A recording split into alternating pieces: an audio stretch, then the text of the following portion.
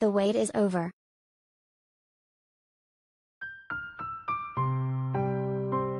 Morgan Beck and Bode Miller have picked a name for their six month old daughter after previously sharing their struggles to decide.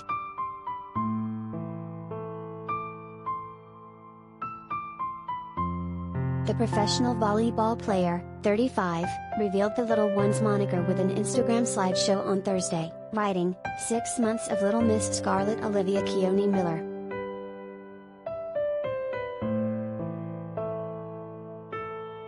The athlete and her husband, 44, welcomed their baby girl in a December 2021 home birth.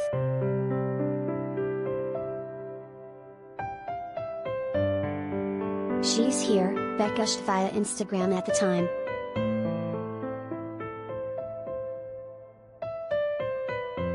The couple admitted the following month that they had yet to choose the infant's name.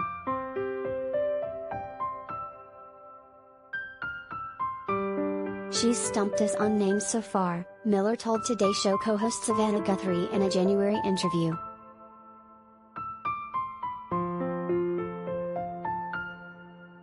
We have a lot that we like, but she hasn't smiled or high-fived or anything when we say them to her, and we say them to her all the time, the former ski racer, who is also the father of sons Neesyn, 14, Samuel, 9, Nash, 7, Easton, 3, and twins Asher and Aksel, 2, explained.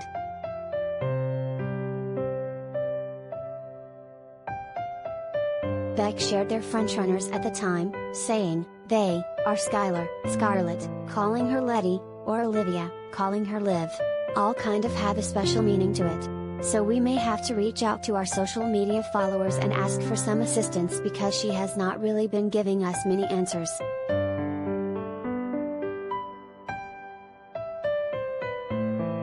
Miller chimed in, calling himself a huge fan of Liv.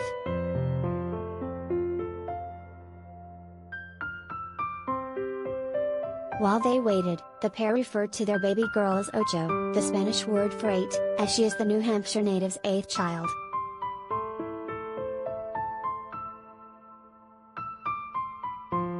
The duo previously welcomed a daughter named Emmeline in November 2016, but the toddler tragically drowned nearly two years later in a neighbor's swimming pool.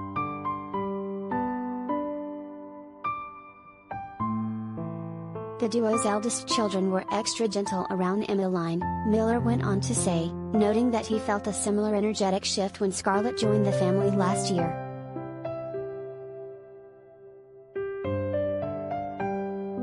Emmy was such a great balance because she was such a powerhouse, the Olympian said. There was this gap there for all the boys, when Emmeline died. And now they have this little girl.